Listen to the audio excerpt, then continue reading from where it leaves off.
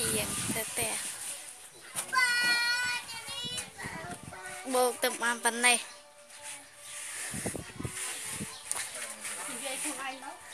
ហើយខាងនេះបន្តិចហើយបន្ទប់ទឹកបន្តិចជាងមានតែ2នាក់ទេកដាកិច្ចនេះបន្ទប់ទឹក តាន់ធ្វើហើយទេនៅជីកលូ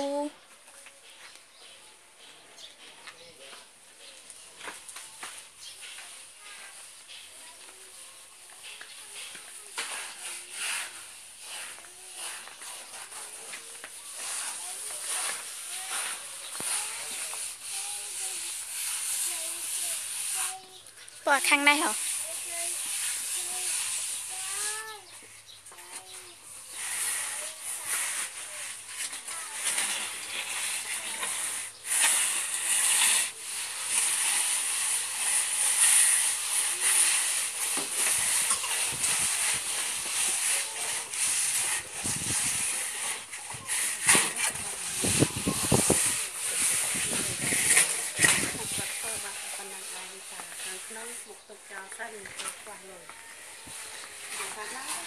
ខាងក្នុងធ្វើបានតែប៉ុណ្្នឹងឯងតាហើយ